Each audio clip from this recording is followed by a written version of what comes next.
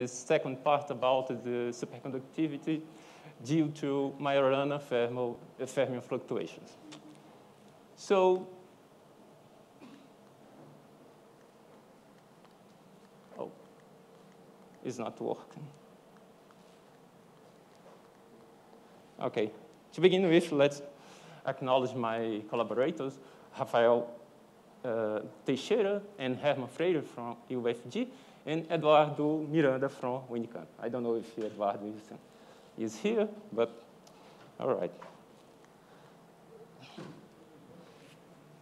Uh, so the first part of my talk, I'm gonna try to uh, elucidate the role of nematic fluctuation for, for, for the appearance of superconductivity in the iron-based superconductor.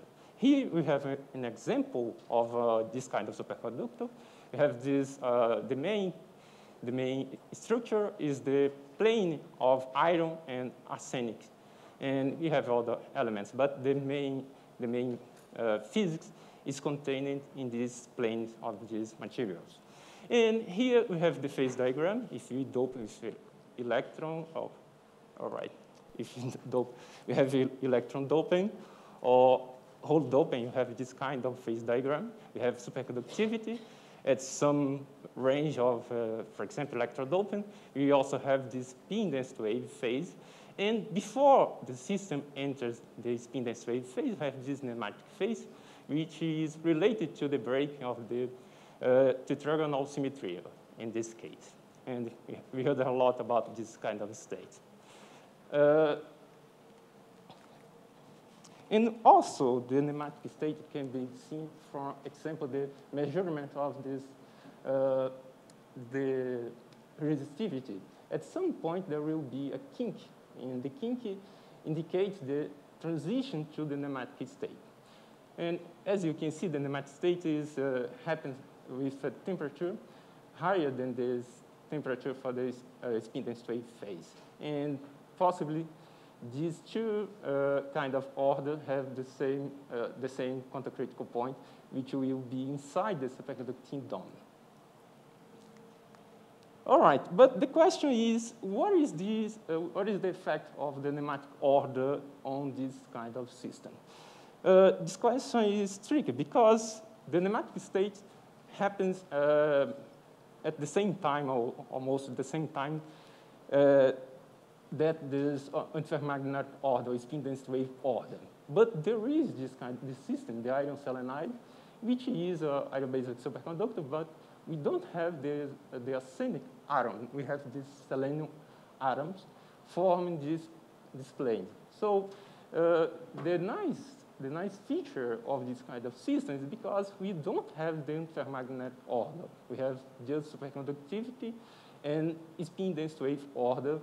Uh, I'm sorry, and nematic order in this case. And we can ask what is this, what is the impact of the nematic order on the superconductivity state uh, studying this kind of system. And uh, first of all, uh, let's highlight the the behavior of this uh, electrical resistivity in this system. Close to the, the quantum critical point, the nematic resistivity has a power law behavior, but the exponent, as we can see, for example, here at high temperature, the, and close to the value of the depression we have at this axis, there is a depression. And close to the nematic critical point, this, uh, the resistivity behaves as a power law, but the exponent is three halves. But uh, close enough for low enough temperature, and uh, we have this kind of uh, t-square behavior. And for obtaining this kind of result, it is necessary to apply a magnetic field because we have to destroy superconductivity. I think this is a related question to the first uh, talk, but uh, in fact, we have uh, this kind of behavior. And the, the, nice, the nice feature is because the resistivity at low temperature and close enough to this quantum critical point uh, is given in terms of this Fermi-liquid behavior, right? But at high temperature, have a non-Fermi-liquid behavior. Uh, so the question I want to address, uh, there is another point I have to show you, is because there is a, the superconductivity, superconductivity is not peaked at the quantum critical point. There is a, another difference from the spin density wave case. But, uh, however, if you take the theoretical works uh, that try to address the impact of the nematic order, the superconductivity Tc, which is the critical temperature for the superconducting order, is higher closer to the nematic critical point. And besides, at high temperature, we have this strange metal phase where the resistivity is linear in temperature. And uh, this is always the case. There is no Fermi-liquid behavior right here, at least for low temperature. For low temperature, we, have a, we also have a non-Fermi-liquid behavior. But uh, in the case of the nematical uh, state, we have to include, besides the electronic contribution, we have to include the, layers, the coupling to the layers, uh, which means we have to couple the, the nematic the parameter phi of R to the, uh, to the uh, phonons which describe the, the, the lattice. We have uh, this linear coupling. This is the uh, this is a symmetry allowed interaction, and we have this strain. So the nematic order parameter is coupled to the strain field, and the strain field is defined in terms of the lattice displacement. And if you include this kind of interaction, we arrive at this uh, phase diagram. And uh, the main effect of the lattice interaction is to, uh, in the case of, uh, there is displacement of the nematic point critical point to uh, this new value R naught. R not is given in terms of the, uh, of the lattice interaction. And as well, there is this transition, the, the line which uh, determines the transition to the nematic state uh, is displaced as well. And the main effect of, for example, the specific heat is that the specific heat or the, in this case, there is a this transition to, from a non-Fermi-liquid to a Fermi-liquid behavior in that case. But if you include, for example, if you try to calculate the electrical resistivity in that case, and also have to include the uh, the coupling to impurities. But if you calculate the electrical resistivity, you use it, for example, Boltzmann equation, but it is not, uh, it, it, uh, it's not dependent on the kind of uh, approach to evaluate this resistivity. We can see we have the experimental results for this resistivity, and you have this uh, effective exponent, and here it is, uh, it is giving as a function of the temperature. And for, uh, for reasonable, reasonable values of the, uh, of the coupling to impurities and the coupling to the lattice, kappa lattice is an effective coupling defined in terms of this interaction, you have a transition from a non-Fermi-liquid to a Fermi-liquid behavior at low temperature.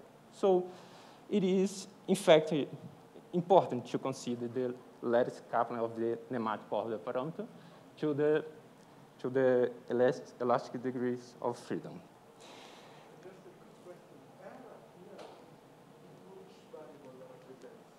Sorry? The pair variable in the x-axis. I, I, can hear you. R, R. R.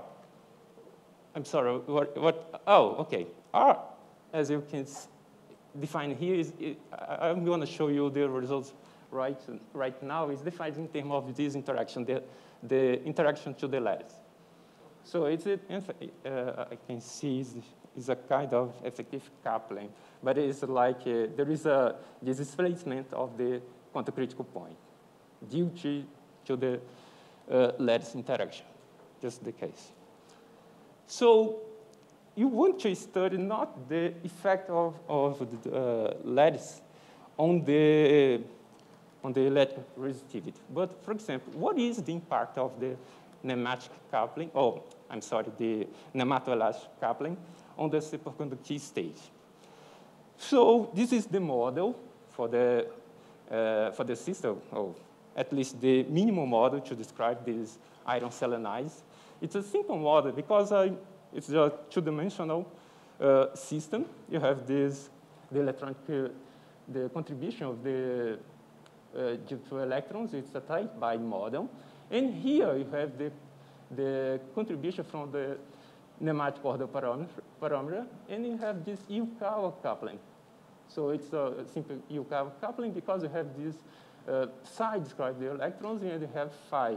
Phi is the bosonic field.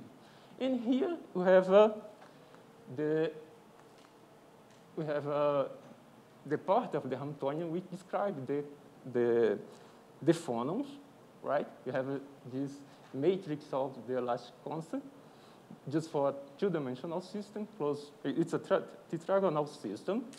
And besides, we have this second coupling.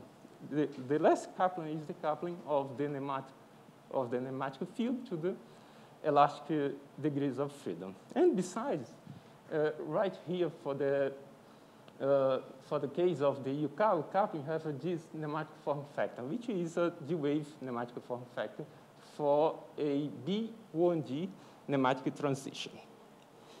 So this is the, the minimum model. And now I'm going to try to evaluate or to investigate the superconducting properties. But besides, after integrate, uh, integrate out in the uh, the, nematic, the electron, the, I'm sorry, not the electrons, the phonons of the theory, we get another uh, anisotropic mass. It's a it's an anisotropic mass for the nematic for the nematic field.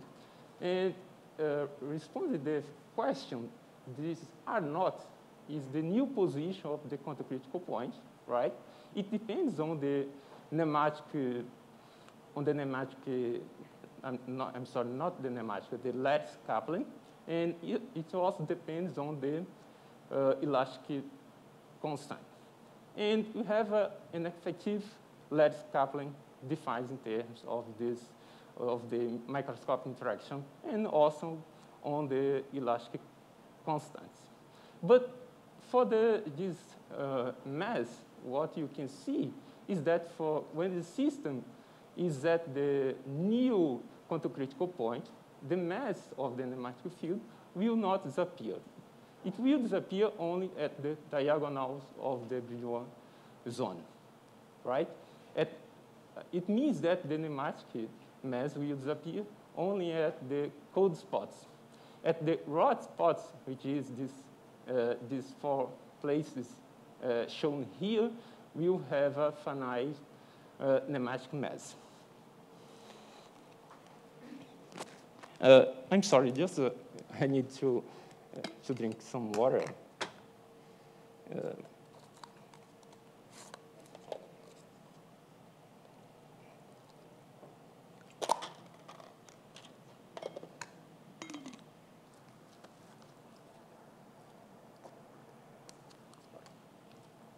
Okay, let's go back.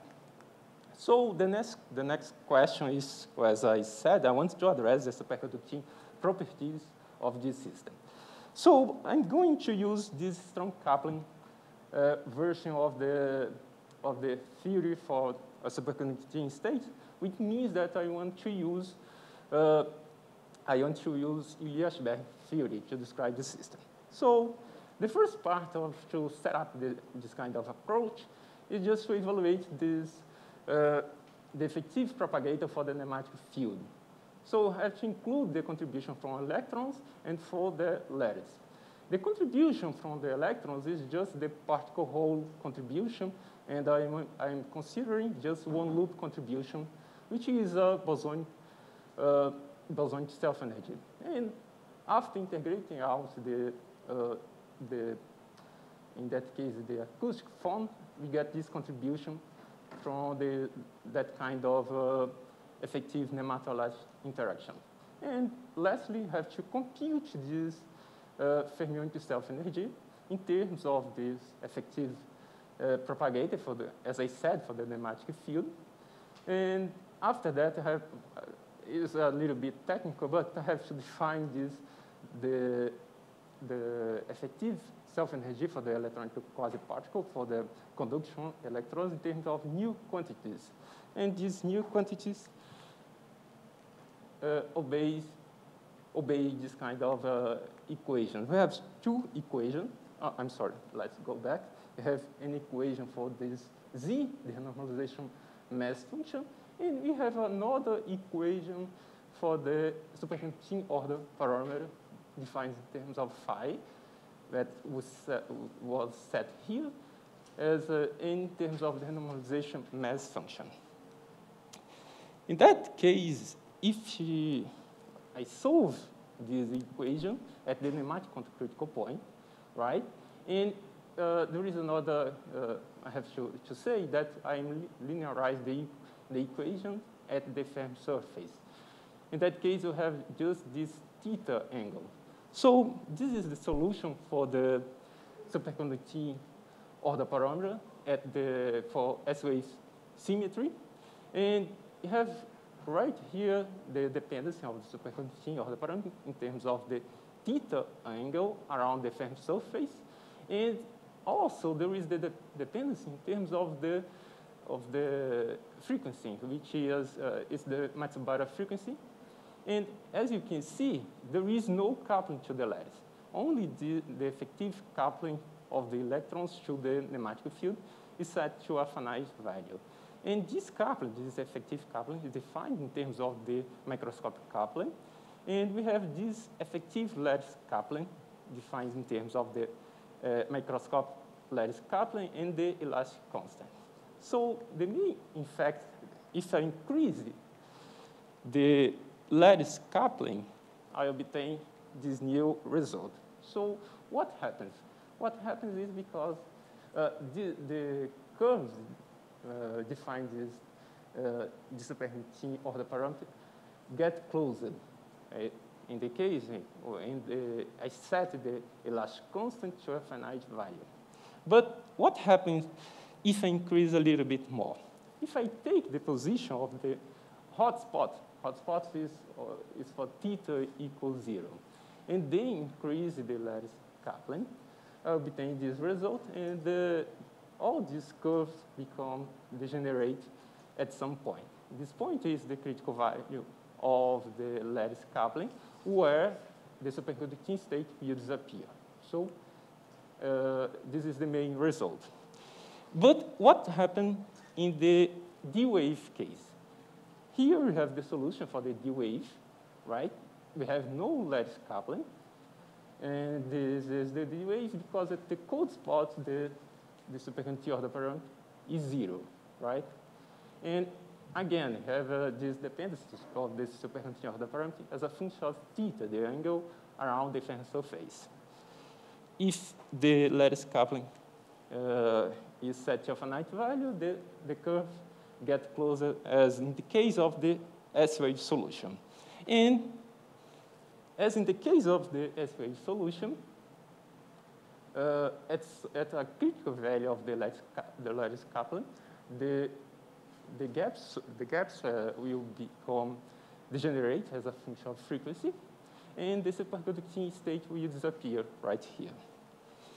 Uh, but to, to see or to understand a little bit more, it is the better option is just to plot superconducting TC as a function of the, of the lattice coupling and the effective electronic coupling.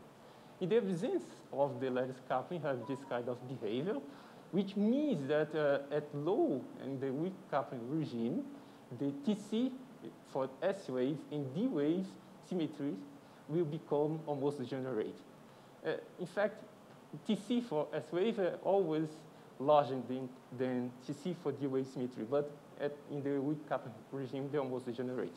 If you increase the lattice coupling, there will be uh, a quantum phase transition, which means that TC will become finite just for uh, this interaction, when this interaction is, uh, is larger than a critical value. And uh, if you plot the difference between TC for S-wave symmetry and D-wave symmetry, we see that in the strong couple regime for the effective electron interaction, there will be almost no difference between all these curves, which means that in the strong coupling regime for the effective electron interaction, this coupling, the coupling to the lattice, will be relevant, which is reasonable because at high uh, temperature, for example, the resistivity for this kind of system, for the iron selenide, for example, is, is almost uh, non-Fermi-liquid. And uh, we can get uh, some other result. If, it, if I plot now Tc for SOH symmetry as a function of the lattice coupling, and then varying this uh, effective electronic coupling, you get this kind of result. So the blue region describe a non-Fermi-liquid behavior, uh, why, or, whereas the yellow region describes a Fermi-liquid regime. And we have this transition between these two states uh, for this kind of, uh, it is described like that, lambda less to the power 3 uh, halves, right? But uh, you can obtain a nicer result if I plot, for example, this difference. Tc naught is the temperature for the superconducting state in the absence of the lattice coupling minus Tc, uh, the superconducting temperature, to the S-wave state uh, when the nematoelastic coupling is finite.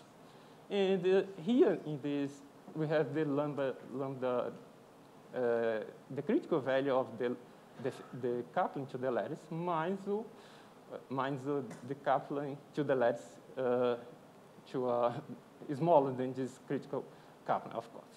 And as you can see, all the curves, all the points uh, goes to the same position. They fall on the same curve in that case. And close enough to the critical value of the lattice coupling, we have this power law dependence for the transition temperature, right? And for the, okay, I, I, I think I, uh, just to show that in the D waves uh, case, you have the same, basically the same result, right? The only difference for the, the S waves uh, case is the value of the critical temperature, which is, of course, smaller, but have a design, the same kind of result. And here we have a comparison between the S wave and the D wave case. As I said, the temperature, the critical temperature, is smaller, right?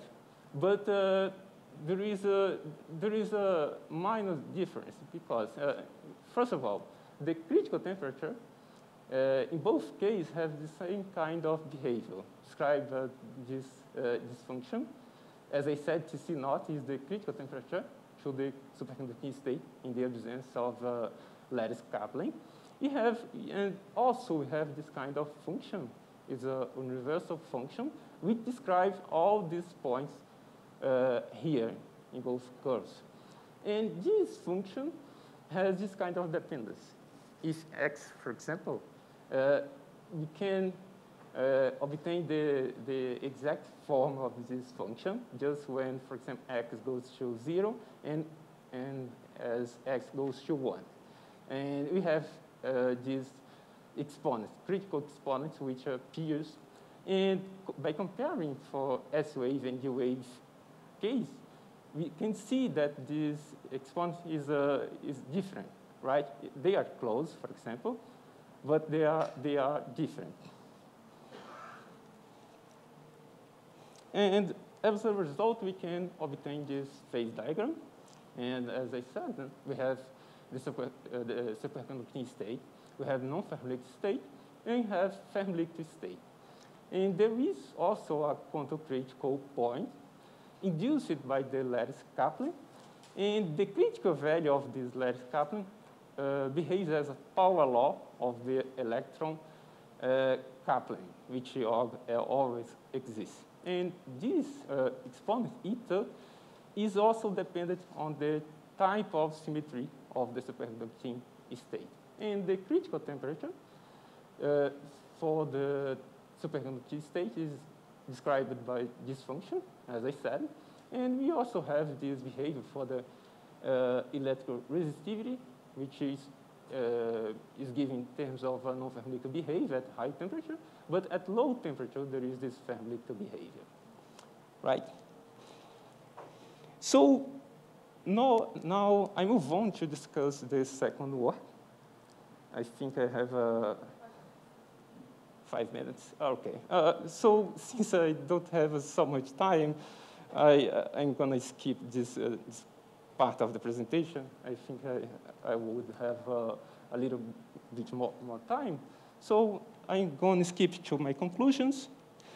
Just uh, after the presentation, if you want, want to discuss, I think I, so to conclude, uh, just to the case of the, uh, of the, the first work, uh, as I, uh, I, said, the nemat nematoelastic interaction uh, could be uh, relevant to describe the transition to the superconducting state because as in the experimental observation, we have this depletion, the depression of, this, of TC close enough to the nematic quantum critical point. So this may be caused by this kind of interaction. And of course, this nematoelastic interaction behaves as a norm. It can induce uh, superconductivity from a non-Fermi to a, a Fermi state. And this, uh, this transition, the superconducting, transition to the Fermi or non-Fermi state is characterized by, uh, by different exponents. And these exponents depend on the kind of symmetry of the superconducting state, right? And so I, I conclude here and acknowledge it to, to everyone. So thank you.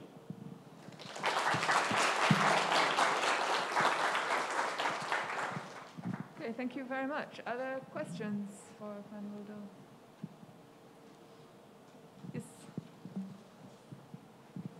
Thanks. Uh, why don't you have a self-energy which depends on the orbitals of the ion? Uh, as I said, it's an effective, effective model. So it's the simplest model, and uh, of course, I can include. Yeah, but you still have five. Yeah, yeah, it's uh, an effective, uh, just one one model. It's a, it's a kind of effective model. But uh, why? Because I, I want to keep the calculation as simple as possible. And, uh, is there any physical reason for that? Yeah, there is, a, there is this model, for example, the, the, the simplest model. Of course, it's not the, the most general model if you, you want to include more orbitals to describe this kind of states. But uh, at some regime, this uh, two-band model, the one-band model, it's, uh, it's enough, at least to get a taste of the physics.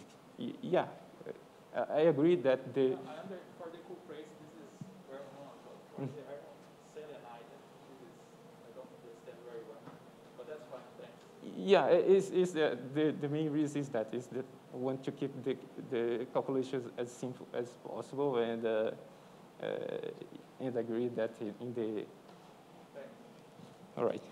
Uh, I think my question is on the same line, but from a different perspective.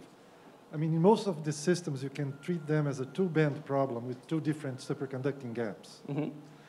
And here you just have one. Uh, the, how, and the two gaps interact with each other, with scattering. Mm -hmm. How would you expect the, the, the, second gap to influence the coupling to, to, to, to, to the acoustic modes or to the nematic state? Yeah. Well, uh, once you have three, three people playing around instead of two. Yeah, it's a, as a, the most honest question is, uh, right now I don't know. It may be uh, important to describe at least uh, some of the regimes because it, it's, not the, it's not the final calculation, it's just the calculation to see what happens in the low energy limit. At, low, at least in the low energy limit, uh, as I said, for example, if I come back and show the behavior of the resistivity, it agrees in, in the low temperature limit. But uh, if I go, if I want to study, for example, another regime of temperature, maybe it's important to include these other, orbitals or, or, to, or to get a more realistic model.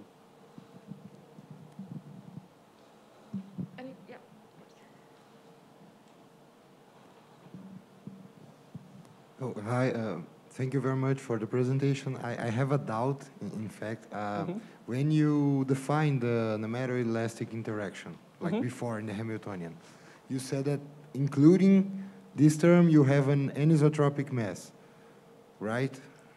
If, if I'm I think right Yeah. here.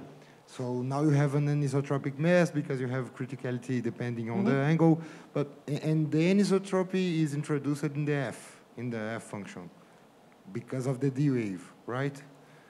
Not the mass, because uh, this mass is related to the nematic mass after integrate out in the phonons.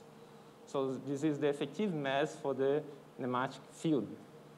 Okay, but it it just appears when you have this anisotropic term on your Hamiltonian or not?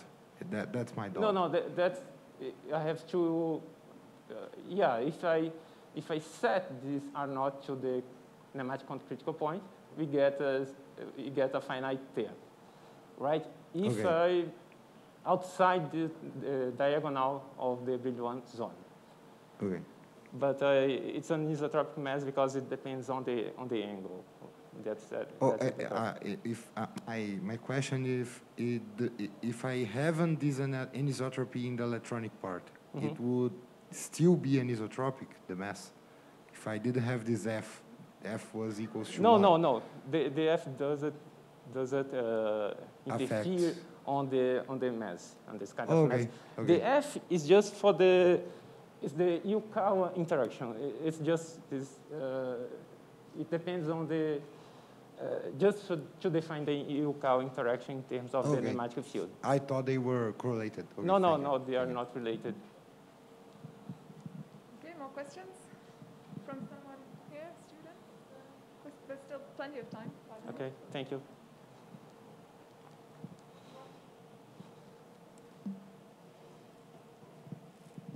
Just Oh, a, s- a silly question. Is there a way to tune in a material this uh, coupling and see this uh, superconducting Fermi liquid, superconducting non-Fermi liquid transition? Yeah, Or, the, uh, the, the, I think the only way that I know is just by applying pressure.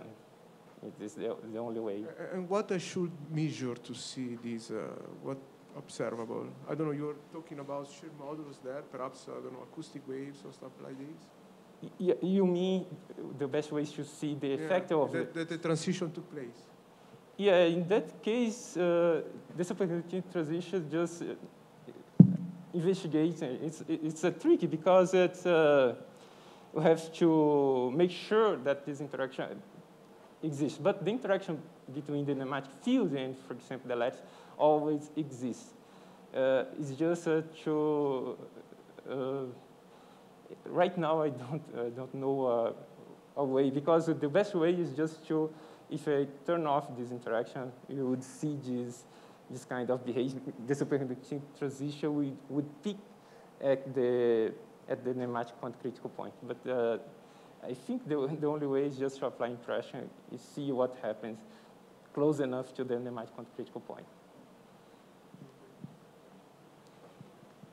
I have a question about whether your results are sensitive to exactly where you choose the nematic quantum critical point to be, because it's extrapolated from higher temperatures. Yeah. So does TC change, or does it just shift a little bit, or does it? Yeah, for example, the, the only, there is another way to change or to see the effect on the, of, on the superconducting transition. For example, if you change the elastic constant, we can see, we can play with this kind of coupling and see what happens to the, to the transition temperature. Yeah, but that's if you tune the material to change the, the location of the critical point. But in your material, so you're kind of guessing exactly where the quantum critical point is.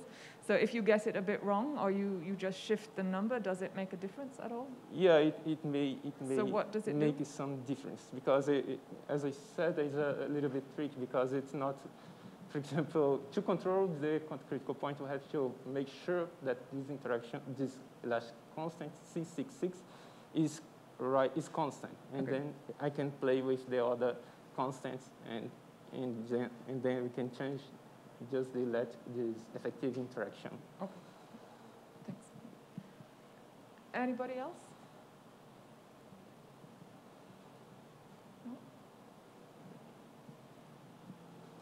Okay, then if not, I guess we can thank Vanuildo again for a very nice talk. Okay, thank you. And it's lunchtime, so I guess we come.